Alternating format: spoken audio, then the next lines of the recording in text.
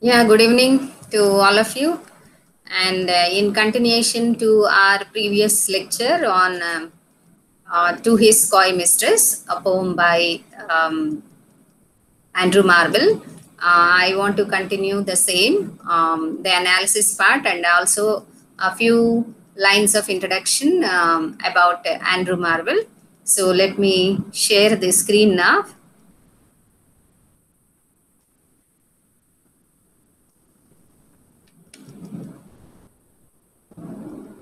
Yeah. I hope you can see my screen. Yes, ma'am. Yeah, right. Yes, ma'am. Okay, right. So let us see the introduction to uh, the poet Andrew Marvell, who is born in 1621 and 1678. And remember one more thing, he is a contemporary of Milton. Um, and he is perhaps uh, the last one of the metaphysical poets. And also he was uh, writing uh, uh, in, you know, in the transition from the yeah one more is here in the transition period. Um, and his writings are of course um, very representative of the metaphysical uh, poetry and also the renaissance um, era okay um, and the cromwell period in uh, england etc so this uh, poet is born in yorkshire uh, and um, of course he maintained uh, um, a lifelong connection with uh, that complex and turbulent region, almost a country to itself in its traditions and institutions. Now, actually, in England, Yorkshire is uh, having a different history and also a different, uh, you know, uniqueness. And uh, Marvell uh, hails from that place. And he was educated at Hull Grammar School and uh, graduated in 1633 and he took a BA uh, there only uh, and he stayed there until 1641 in Cambridge. And um, yeah, um, while he was studying in Cambridge, you know, uh, in his uh, students' days, uh, he went to London he went to London uh, to join the Jesuits. Uh, Jesuits are a group of um, uh, Christians only who are actually.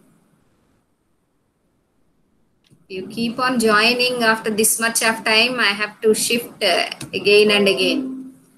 Uh, a group uh, you know jesuits are actually a member of the society of jesus. They are called as members of the society of jesus. And it is a roman catholic order of priests and founded by saint ignatius loyola saint francis xavier and others in 1534 uh, in by this time you could have realized that in the history of england especially this conflict between the roman catholicism and protestantism uh, which started from the Reformation, okay, of Henry VIII is very crucial.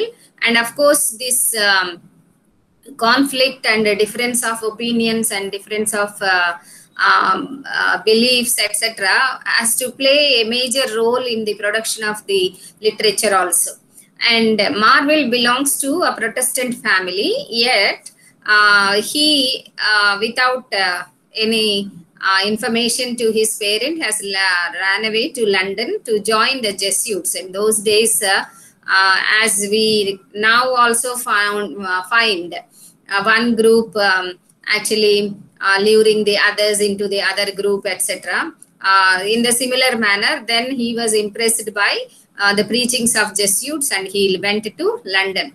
And uh, of course, uh, this uh, order, that is the group. Uh, uh, Jesuits is uh, very much opposing to Reformation, the idea of re- uh, Reformation, and um, because of the uh, you know uh, Protestant kings who came to throne after um, you know Reformation period, uh, they were persecuted many times, yet they have retained their influence in Catholic thought and education. So his father, uh, Marvell's father, um, who was a very sternly Calvinist. Another new word for you, a Calvinist is a follower of John Calvin, who is a minister and um, uh, he preaches the Protestant uh, uh, way of religion. So John, um, his father came to London and immediately retrieved him uh, from the Jesuits group. And then after coming out of that place, he published a Latin poem which was adapted from Marvell published a Latin poem which was adapted from one of Horace's odes uh, to Augustus. Um, then uh, and uh, one one in Greek also. So one in Latin, one in Greek. He uh, published, and in those poems, actually, he was showing allegiance to the monarchy, the King Charles I. If you go through the biography of Marvell, you'll you will find that he was in continuous uh, shift from his uh, uh, you know uh, admiration to Cromwell and also uh, King Charles. So he was sometimes very much um, into the victory to celebrate the victories of Crom- Cromwell. And then he also never neglected the kings. So he was into uh, the praise of monarchy also. In fact, he considers King Charles as one of the great sacrifices when he was uh, persecuted. Okay, then um, uh, besides the these two instances of writing these two poems and then uh, running to London to join the Jesuits, uh, all his life in Cambridge appears um, very uneventful.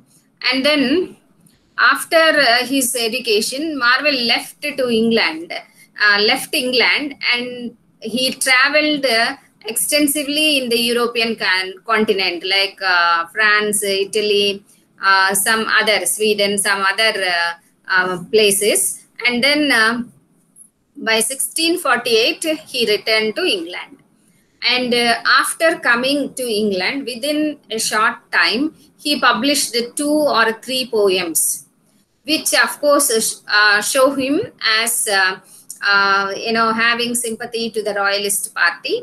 And then in 1650, he joined as a tutor tutor is nothing but today's uh, tuition teacher, like uh, to the daughter of Lord Thomas Fairfax, who was a great personality, who was uh, a commander in chief of the army in Cromwell's army. Okay, so um, he joined Fairfax, and during this period, where he used to live in the um, you know Appleton House, which is uh, like the villa of uh, Fairfax. Uh, he used to find a contrast between the peaceful world of the palace or bangla in which he was living and outside the bangla, which was very, um, what do you call, as you know, um, disturbed with wars and quarrels, etc.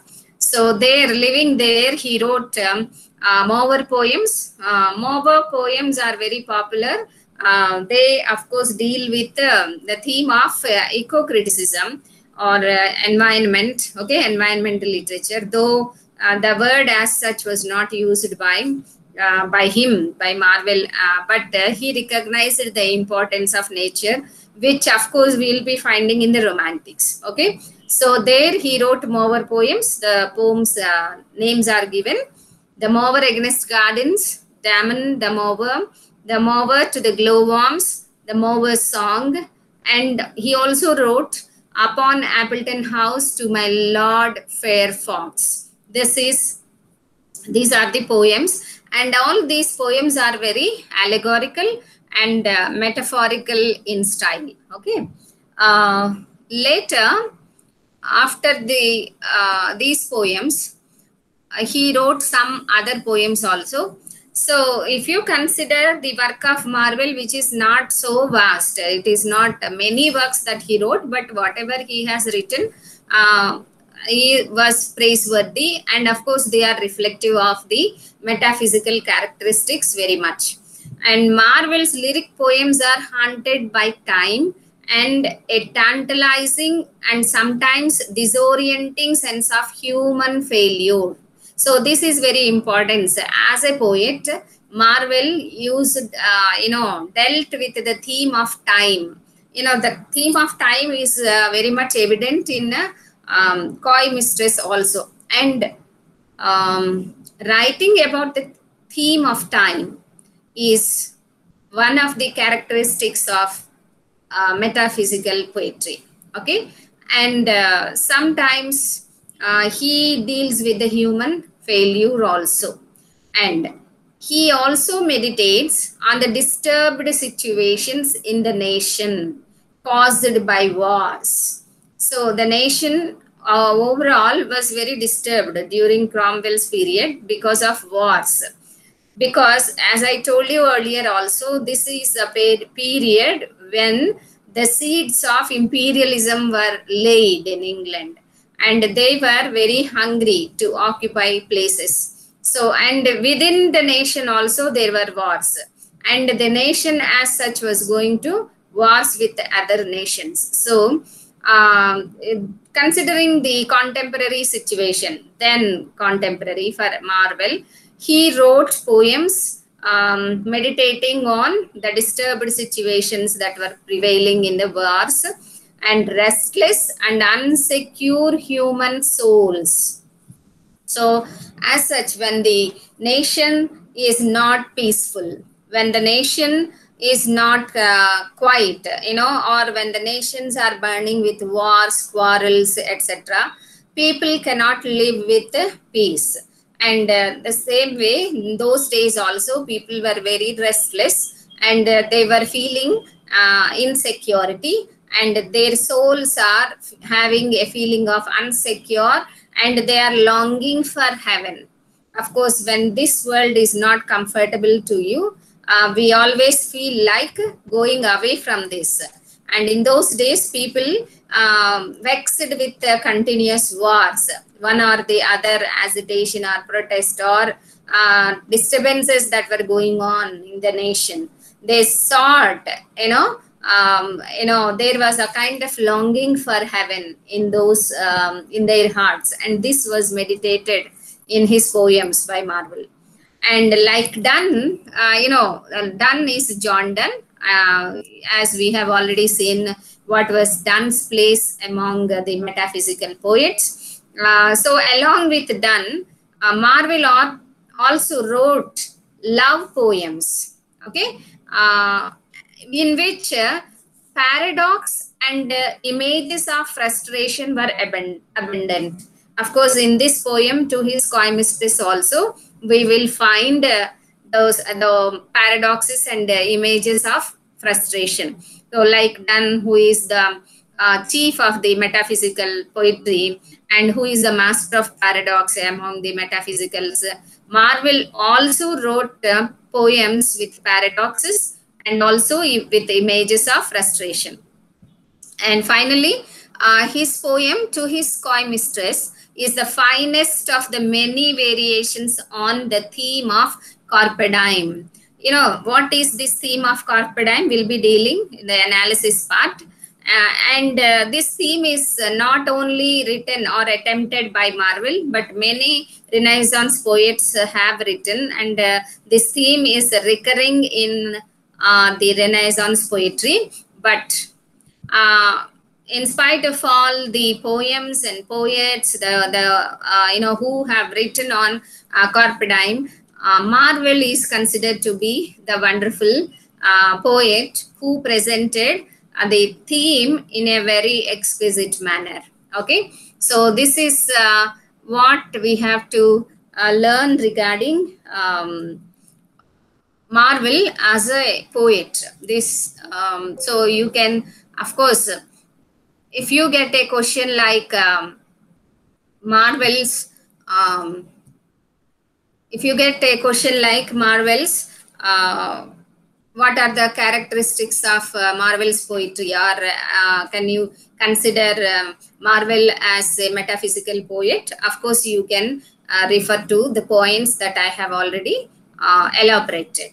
So, coming to the analysis uh, of the poem, uh, you know, while I am, I didn't prepare a PPT regarding this. I may share a Word, doc Word document. Um, with uh, the analysis. So don't worry, even if you want to write down while I am explaining, you can write down very well. Uh, see there, uh, actually the poem uh, to his uh, mistress is published in 1681 and um, uh, in an anthology named as miscellaneous poems. Okay? Miscellaneous poems. And this was published after the death of Marvell. After three years of death of Marvell, that means posthumously, it was published posthumously. And this um, Marvell actually wrote this poem in um, iambic pentameter. Iambic pentameter is nothing but a very common meter of poetry uh, wherein each line will have five sets of two beats. Two beat is the first is unstressed and the second is stressed. So if you take each line of the poem, you will get this stress pattern. So one stressed and then this uh, one unstressed and then stressed. So like that, you will get five sets. Okay. Uh, so each line and also uh, they are composed in couplets. And uh, on the whole, the poem can be considered as a dramatic monologue, though not up to the mark as Robert Browning's dramatic monologue, because Robert Browning is considered as the master of uh, dramatic monologue in English literature. We'll be dealing with Robert Browning perhaps in your uh, second semester. So uh, even in uh, Andrew Marvell's poem also, uh, as we could see in uh, Donne's poem, we can sense the presence of uh, a listener who is very um, uh, quiet, uh, who never talks, but we will feel the presence of the listener. So that this is uh, actually this dramatic nature is one of the characteristics of metaphysical poems and that is present in this poem as well as in John Donne's canonization also. So, uh, to give you about the structure of the poem, I told you that this is written in iambic pentameter and the visual structure of the poem you can notice is having uh, three parts. Okay, um, the lines like uh, you know 1 to 20 and 21 to 32 and 32 to like 43 or 45 uh, like that three parts. Three stanzas where there is no restriction of the stanza length but it is couplet. So let me tell you what is a couplet. See couplet is a literary device that is made up of two rhyming lines. Uh, yeah, if you have the poem, you can open and then uh, you can see, uh, had we but world enough and time, this coyness, lady, were no crime. The first lines and two lines are a couplet. And what is the significance of this couplet? This couplet actually uh, will be rhyming time, crime, you see rhyme. And rhyme is there. And if you count you will have uh, similar uh, syllables like iambic pentameter. Same meter is used in both the lines. And uh, also uh, this the thought is complete. So here in couplets one after the other couplets you can find that the thought he starts in the first line ends in the second line so this is uh, called as uh, couplet and the whole poem is written uh, in the similar manner. That is uh, couplet. And um, one more thing that you have to uh, notice regarding the uh, this poem is major themes. Students, if you if you can, you can note down. So, what are the major themes? As such, the major themes are love, time, and then transience of life. Uh, transient nature, that means temporary nature of life.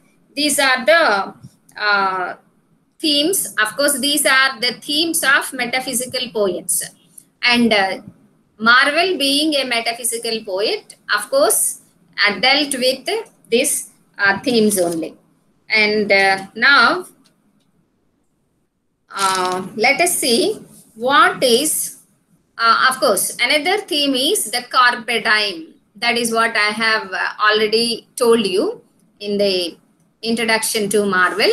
So let us see what is the carpe diem. C A R P D I E M. Carpe diem is a Latin phrase that means seize the day.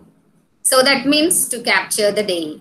Or uh, uh, this is in other words like enjoy the present.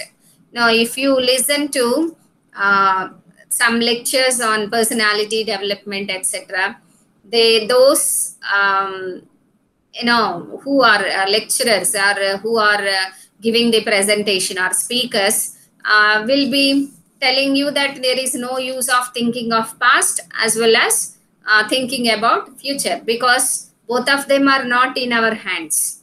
What is in our hands? We have present only. So this theme is carpe diem theme. It's a latin phrase. Seize the day take the present or uh, enjoy the present. Actually this is a very favorite theme of marvell and um, he wrote many poems also. Not only this but uh, and i told you that this carpe diem theme is a common theme in uh, the renaissance poetry. Uh, though marvell is very well known for his um, greatness of handling this theme because it is his favorite theme. Uh, so in this poem also you can uh, see uh, in the literal analysis in the previous class i told you how he is impressing his beloved to enjoy the present. Okay? Uh, he starts that if we have world enough time this coyness my lady is no crime. That is what he says. Uh, but there it that means what? He is saying that we don't have enough time so we can't think of future.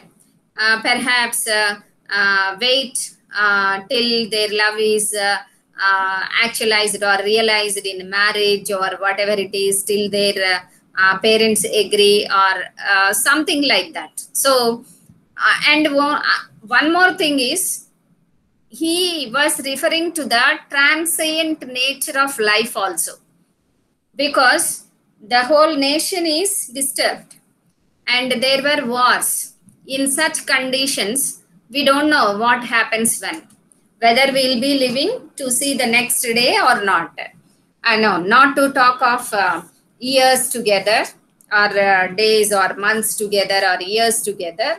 He thinks that um, we are not sure of living because life itself is transient and the times are also adding uh, what you say like uh, adding fuel to the fire this uh, transient nature of life because of wars because of disturbances etc oh that is why as per the theme that is catching the present or seizing the day we could see how impressively or how effectively Marvell, the poet, was, um, you know, seducing or luring his beloved to enjoy the present. The present is the time, okay? And the present moment, for example, he's saying to let us enjoy the present moment and he also feels that for waiting for the right moment or right time is a waste of time. According to him, writing for uh, waiting for the right moment is of no use. And it, uh, of course, the, through the theme of carpe diem, the poem is advocating uh, the concept of enjoying the present. And of course, uh, if we take it uh, positively, uh, it is what all human beings should learn enjoying the present because the past uh, is gone we can't get it back and the future we are not sure how it will be though we may believe that we will witness the future or we will saw the future etc uh, what type of future you will be witnessing or uh, receiving etc so future is not in our hands and uh, past uh, we can't get back. So what is left? Seizing the day.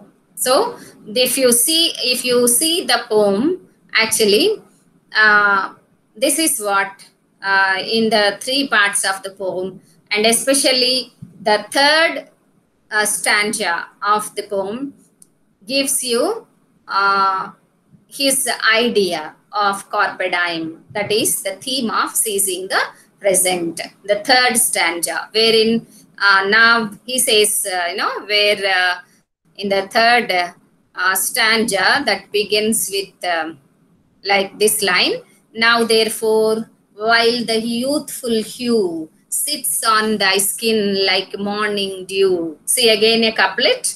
So our youth is sitting now on us like the morning dew. So let us seize the day. This is the uh, carpe diem theme. And one more theme, uh, which I told you, is the theme of time. So actually time in this poem is presented as an antagonist.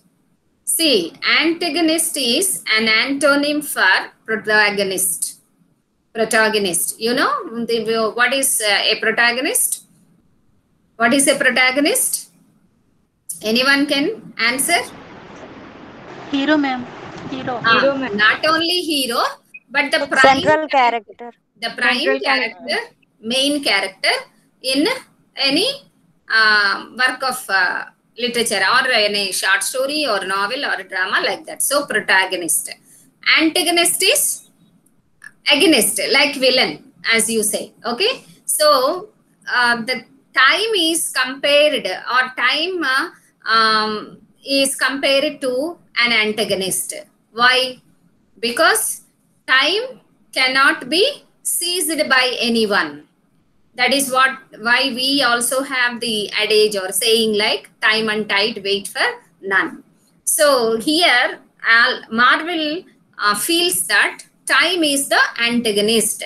That is what he presents in the second stanza. Uh, but uh, I on my back listen, listen the winged chariot of time approaching soon. That is how he says.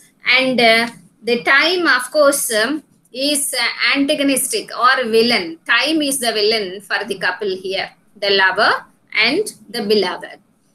And uh, it is compared with the winged chariot. So, winged chariot is uh, like um, a chariot, you know, Radham. Okay. And winged chariot, uh, like our uh, aeroplane, it flies very uh, fast. So, time is compared with the swiftness. Swiftly it goes away.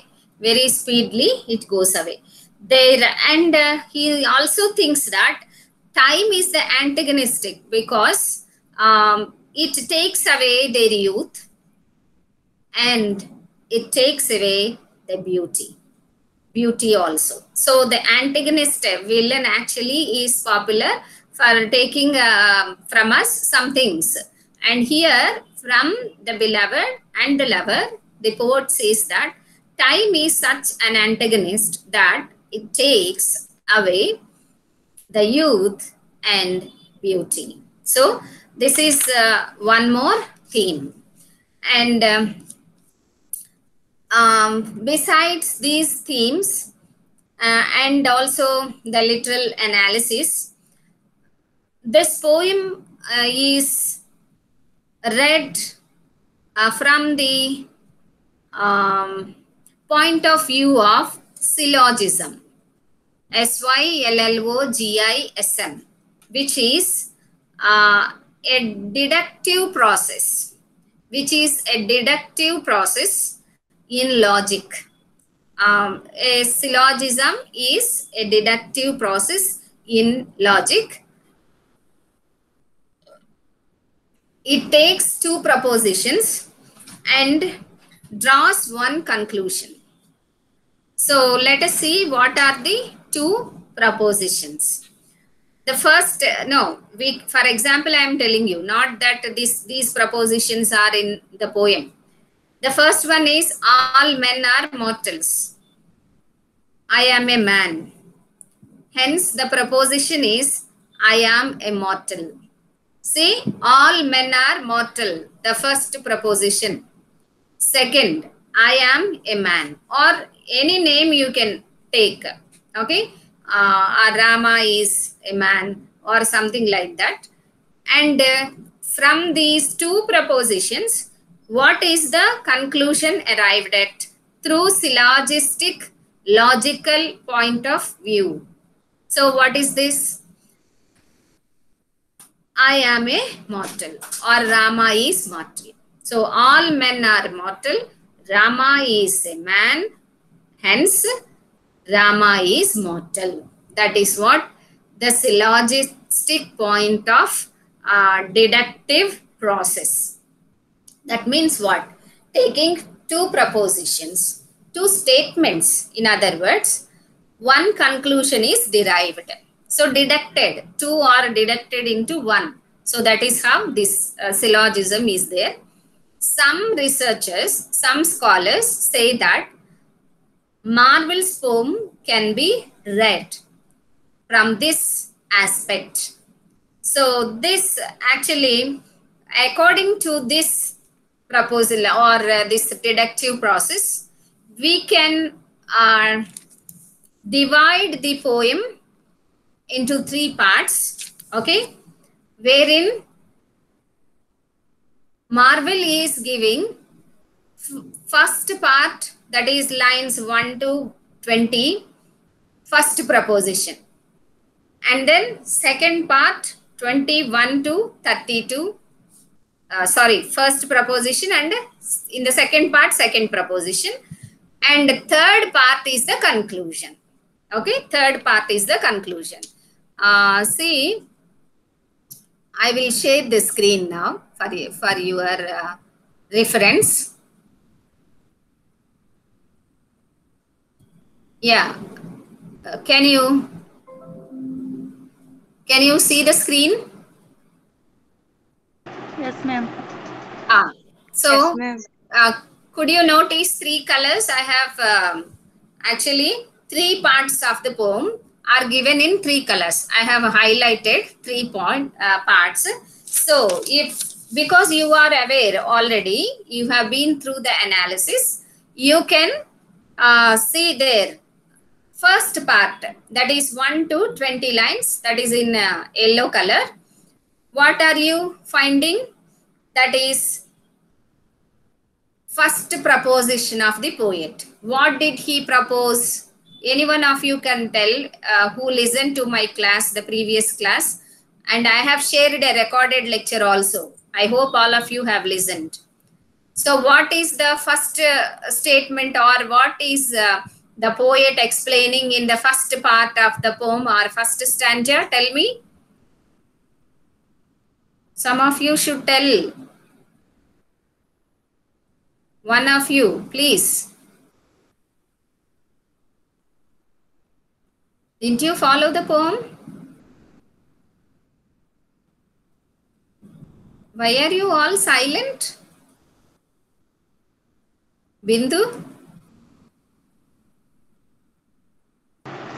Yes, ma'am. Yeah. Did you follow? What is the first part? What is the poet saying in the first part? Uh, the poet asking his beloved one, don't be Mm. shy because uh, we have um, short of time.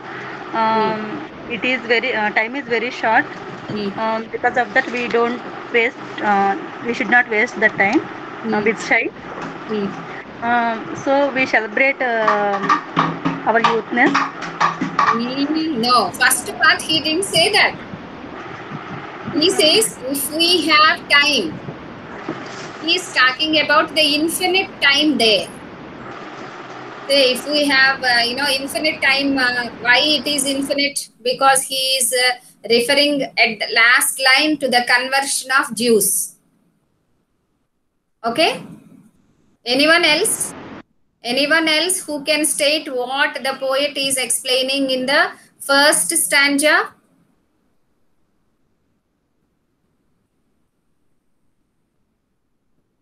Okay, none of you are coming forward. So the first stanza, what he is uh, telling, what is he proposing? If we have mm, infinite time, we can keep on loving gradually. Okay, the first proposition. What he is saying, if we have infinite time, we can keep on loving gradually into the future, which future is not uh, what you call mm, fixed. Eh, We don't know until what future because the conversion of Jews did not happen till now. Okay, and we don't know when it will happen. So that is uh, not a fixed time in future. It is not a fixed future. It is infinite or endless, we can say. So that is the first proposition he is offering in the first stanza. Then, uh, the, so syllogism needs two propositions from which one conclusion is made. This is deductive process. So the first proposition is like uh, the poet says that we don't have infinite time. Okay. Then the second part that is uh, uh, in the light green color. What he says, the second part, he says that time is not infinite and time runs away. That is why he says, Time winged chariot is hurrying on my back. I told you, we always uh, imagine our birth and then death at a very far away point in future. But actually our birth and death are like our ourselves and our shade. So it is always a uh, sorry shadow. It is death is always a shadow. But we never um, think of it we ignore it. So here the second proposition what um, the poet makes is time is very short. So the first is uh, he says that time is eh, time is not infinite. If we have infinite time we can go on loving. But the time is short. So what shall we do? The third proposition because time is not in our hands we should love now itself. This is again the carpe diem. That is the seize the day. Some scholars say that this is uh, akin to the syllogistic point of view. But some say that it is not at all syllogistic point of view. So uh, whatever it is we will also find a kind of logical argument that is presented by the poet. So the poet says that he, he is luring he is uh, trying to convince his uh, mistress or uh, his beloved stating that if i have world enough time so the if the whole time is for us, I uh, I will never get bored of loving you. And he says that uh, I will praise you, praise your uh, lips hundred years or forehead two hundred years, and uh, each part an age. That is how hyperbolic statements that he makes, and then he says that I can go on loving you, and of course you deserve that praise because she is also very beautiful and I am also a very ardent lover, serious lover, he says, and my vegetable love grows. That is what he says. So if I have time, I can do all those things. Keep on praising you, keep on loving you. But the second part, he says, we don't have that much time. Moreover, death is nearing. So that is why he says that. And uh, time is the antagonist uh, who will snatch away from us what? Our life as well as our youth and beauty also. So time, of course, will not give us uh, as much time as we want because time is very short and our life is very transient. And that is why proposition he makes is logically, let us not waste our time. What he says, uh, let us not waste our time. And he says, now therefore, while the youthful hue sits on thy skin like morning dew. And again and again he says, now let us sport us while we may. And now like amorous birds. So he, of course, is stating that let us celebrate the uh, at this time catch the present or seize the day and make our love fruitful. That is what he says. So this is a kind of logical argument where he tries to convince the beloved to uh, enter into you know love making with him. This is how a logical argument is there in this poem. And then uh, the what are the metaphysical characteristics that you can find in the poem? Okay. Uh, so i have been referring to them now and then while explaining. First thing is uh, it is very dramatic. The presentation of the poem is very dramatic and that itself is the first characteristic of uh, a metaphysical poem. So we can very well consider this poem as a metaphysical poem. And then use of hyperbolic statements. See hyperbolic statements of praising uh, uh, lips for 100 years, praising the forehead for 200 years, okay?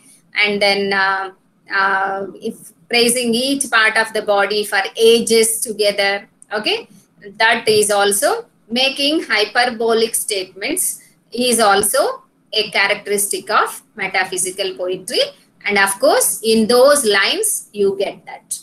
And one more thing is uh, the theme of time. Speaking about time and the transient nature of life is also a metaphysical characteristic.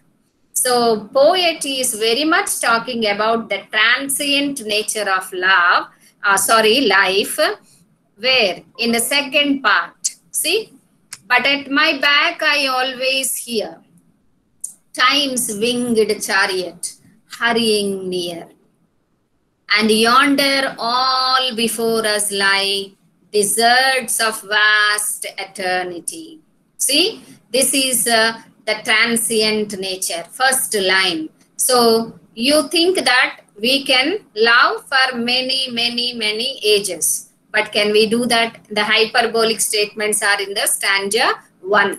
Now he says, uh, uh, the time like a winged chariot is coming swiftly, hurrying near. So talking about the time and then the um, transient nature of life.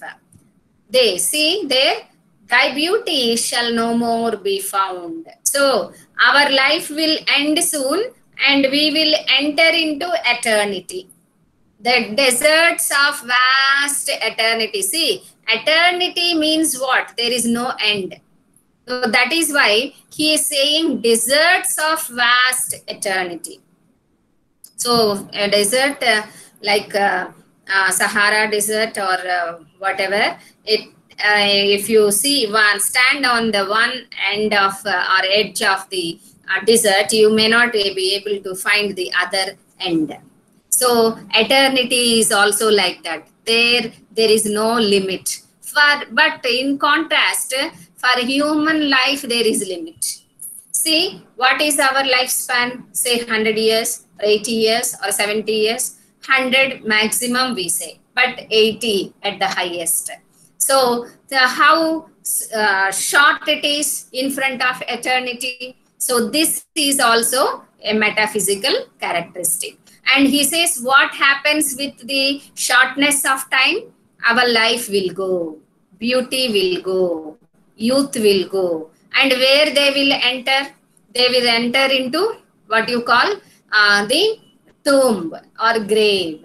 So very uh, witty and uh, far-fetched, uh, what you call um, um, far-fetched um, symbols or images are also a kind of, you know, eternity is compared to desert. It is a very strange thing because eternity is very much uh, fruitful or eternity is life-giving. That is what we think. But very strangely, uh, the poet here presents uh, eternity as a desert for lovers. So, so what is the idea behind this? So we can, of course, think that uh, in heaven there is no lover and beloved. There are only angels. There is no uh, love as you think of, uh, like especially physical love of this worldly love. Okay, so perhaps because of that he is saying for lovers it is eternity is like desert because they they won't remain lovers once they enter into eternity. So talking of eternity or mortality, immortality, infinite time and finite time, etc. is all metaphysical feature only. And then he says, uh, uh, Thy beauty shall no more be found, nor in thy marble vault shall sound my echoing song. Worms shall try that long preserved virginity. See, see, I know once we are eh, dead, of course, when we are buried, worms will eat our body. But here he is saying that your virginity.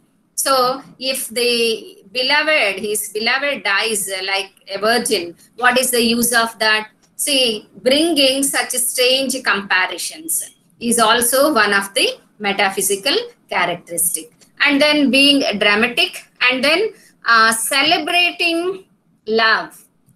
See the comparison of uh, rolling themselves like a ball in the third uh, part I am reading. Okay. Uh, and um, he says, uh, uh, let us make the sun run. Okay sun is personified and he says that we cannot run with sun but let us make him run. So that means what? Let us spend time without knowing when time passed.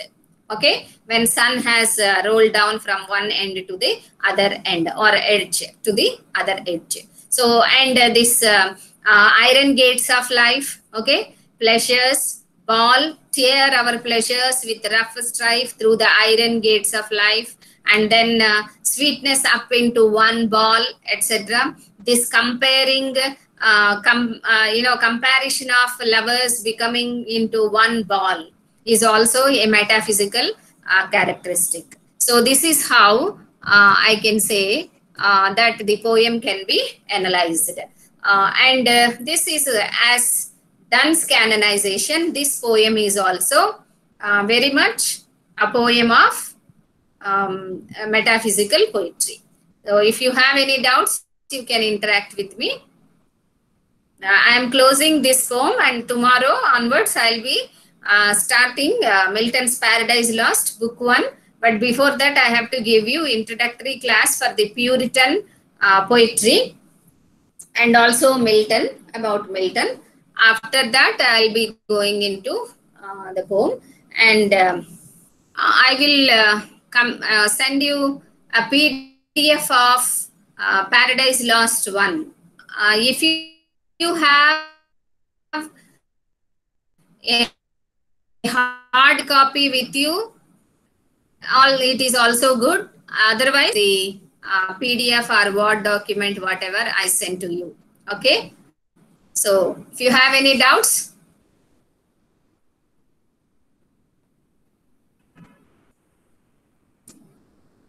No doubts?